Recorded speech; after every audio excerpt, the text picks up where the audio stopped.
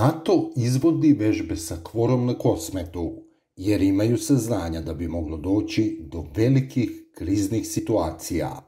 Dodatne trupe NATO pakta krajem avgusta umarširaće na Kosovo i Metohiju u sklopu vežbi sa kvorom radi uvežbavanja scenarija kontrole mase i nereda i bezbednostnih operacija.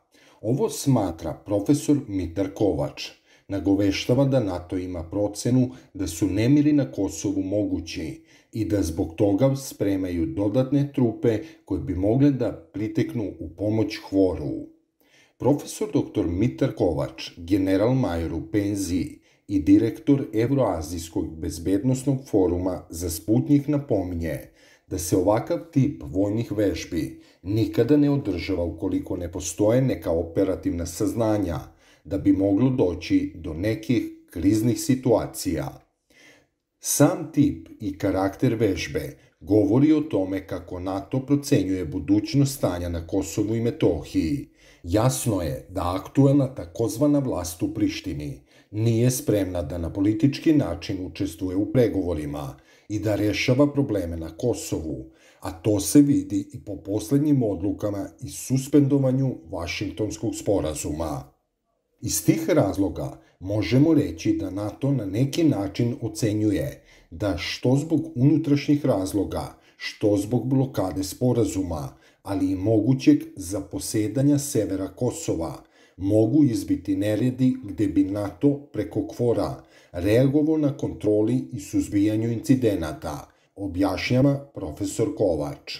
Prema saopštenju iz kvora, međunarodne vojne snage na Kosovu i Metohiji će izvesti vežbu operativne probe, zbog koje će privremeno biti povećan broj jedinica i vojnika na terenu u periodu od 30. avgusta do 8. septembra, ali se ne navodi da li su za istu dobili i odobrenje iz Saveta bezbednosti Ujedinjenih nacija, jer ukoliko se to nije desilo, povećanjem broja NATO vojnika na teritoriji Kosova i Metohije krše se svi sporazumi od Kumanovskog do rezolucije 1244.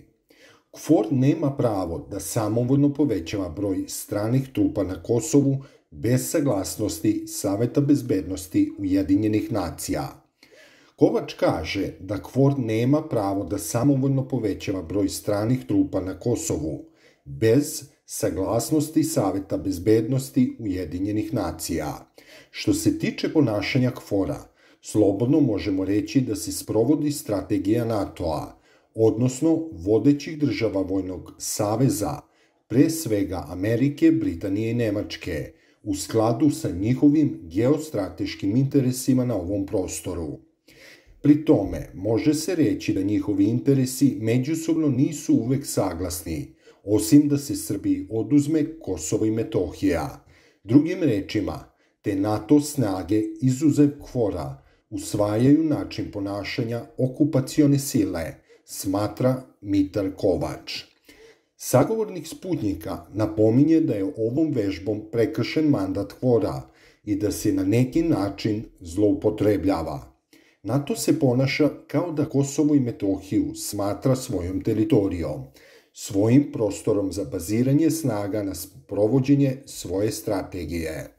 Ono što je inače karakteristično za sprovođenje periodičnih vežbi i povećanje nacionalnih kontingenata, izgradnje novih kampova i baza, nema odobrenje nadležnih institucija kao što je Savet bezbednosti Ujedinjenih nacija, jer nema podataka koliko vojna snaga će biti u ovom periodu prisutna na Kosovu i Metohiji. Toga nema u godišnjem izveštaju koji se predočava Savetu bezbednosti Ujedinjenih nacija. To samo inicijativno donošenje odluka od strane NATO-a jeste problem i predstavlja svojevrsnu samovolju nametanja volje vodećih zemalja NATO-a na Kosovu i Metohiji, napominje sagovornik Sputnjika. Inače, u saopštenju KFOR-a se navodi da će u vežbi učestvovati dodatne rezervne trupe iz Albanije, Bugarske, Grčke, Italije, Rumunije, Turske i Velike Britanije. Trupe će na Kosovo i Metohiju stići do kraja avgusta, a infrastrukturu neophodnu za njihov smeštaj uspostavit će mali vojni kontingent iz Ujedinjenog kraljevstva, koji treba da doputuje na Kosovo sredinom avgusta. I sam KFOR je potvrdio ovo svojim saopštenjem u kome se kaže da međunarodne vojne snage na Kosovo i Metohiji krajem avgusta i u septembru izvešće vežbu operativne probe, zbog koje će privremeno biti povećan broj jedinica i vojnika na terenu. U saopštenju se navodi da će u vežbi učestvovati dodatne rezervne trupe iz drugih savezničkih zemalja NATO-a, među kojima su Albanija, Bugarska, Grčka, Italija, Rumunija, Turska i Velika Britanija. Te trupe će na Kosovo i Metohiju stići do kraja avgusta, a infrastrukturu neophodnu za njihov smeštaj uspostavit će mali vojni kontingent iz Ujedinjenog kraljevstva, koji treba da doputuje na Kosovo sredinom avgusta.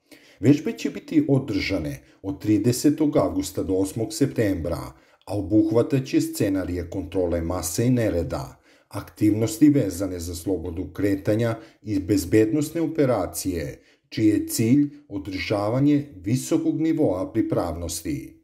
Po završetku vežbe, sve dodatne snage će napustiti Kosovo i Metohiju i vratiti se u svoje matične zemlje.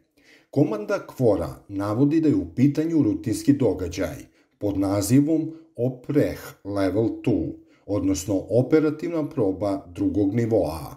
U saopštenju se dodaje da trupe iz savezničkih zemalja treniraju zajedno sa jedinicama kvora u okviru operativnih rezervnih snaga.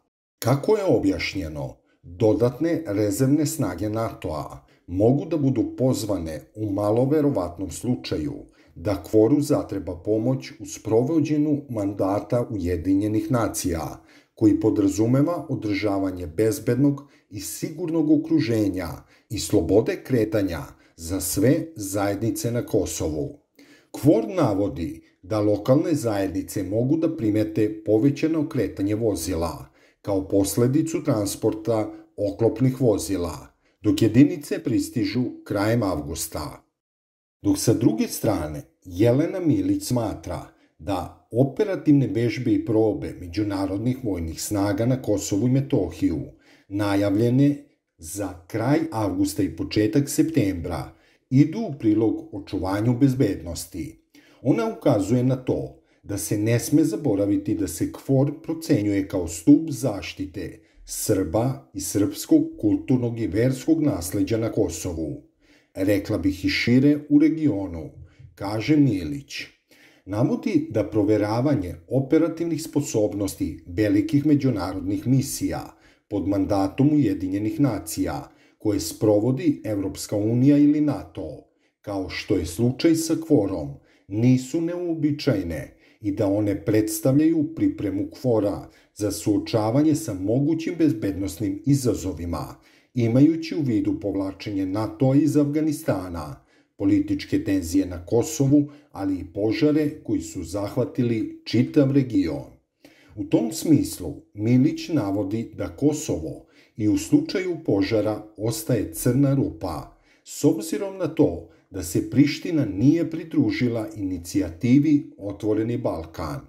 Albin Kurti drži građane na Kosovu kao taoce i one koji glasaju za njega, ali i Srbe. Kaže Milić i ukazuje na to da Srbija u saradnji sa Kvorom ima mandat da zajedno reaguje u vanrednim situacijama. Ono što dodatno usložnjava situaciju, prema njenim rečima, jeste što su kosovske bezbednostne snage sertifikovane za reagovanje u vanrednim situacijama.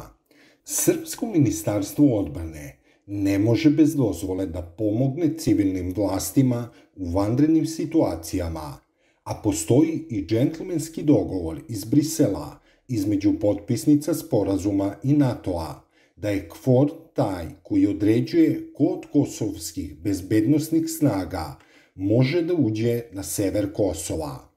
Postoji sučeljavanje mandata i KFOR verovatno treba da bude spreman i sam sa sobom harmonizovan jasno definisan šta da radi u slučajevima ako ne daj Bože dođe do požara na Kosovu ili nekog drugog prirodnog ili ljudskog aksidenta, dodaje Milić. Ističe da sve to dolazi u trenutku kada se pojavljuju izuzetno zapaljive ocene, i to od zvaničnih isvestilaca Evropskog parlamenta za Kosovo, poput izjave Viole von Kramon, koja je rekla da ne zna albanski jezik, da bi mogla da oceni kakav nivo pretnji sve dolazi za srpsku zajednicu, pre svega na severu Kosova. To je jeziva izjava u teškom trenutku, koja pored svega ovoga takođe može da izazove društvene tenzije, nestabilnosti koje mogu da se otmu kontroli i da upadnemo u problem šta je čiji mandat, navodi Milić. Kaže i da je veliki faktor rizika po bezbednost srpske zajednice to što von Kramon i Kurti ne priznaju briselski sporazum, koji između ostalog podrazumeva zaustavljanje kosovskih bezbednostnih snaga na severu i to da KFOR donosi odluku ko može da uđe na sever Kosova. Prema njenim rečima, tajming za održavanje vežbe uopšte nije iznenađujući, imajući u vidu da je povlačenje NATO trupa iz Afganistana predviđeno za 11. septembar. Ova vežba delom je priprema za moguća dešavanja koja, nažalost, već vidimo da eskaliraju u Afganistanu. Navodi Milić i dodaje da formalne vlasti u Afganistanu, koje međunarodna zajednica podržava, gube kontrolu nad velikim delom te zemlje, koje preuzimaju talibani, te da zbog toga postoji veliki strah u međunarodnoj zajednici, ne samo u Americi, već i u Kini i Rusiji, na koji način će se Al-Qaida odnositi prema borcima ISIL-a koji se sada vraćaju. Istočni Mediteran, Crno more, Bliski istok, sve su to sada za te vrste strahova i odgovora povezane rute i Zapadni Balkan je jedna od njih. KFOR je najveća međunarodna misija u ovom delu sveta, koja je povezana i sa Isakom, dodaje. Milić ukazuje na to da bi KFOR i bez povlačenja iz Afganistana imao dosta novih izazova imajući samo u vidu koliko besne požari svuda u regionu.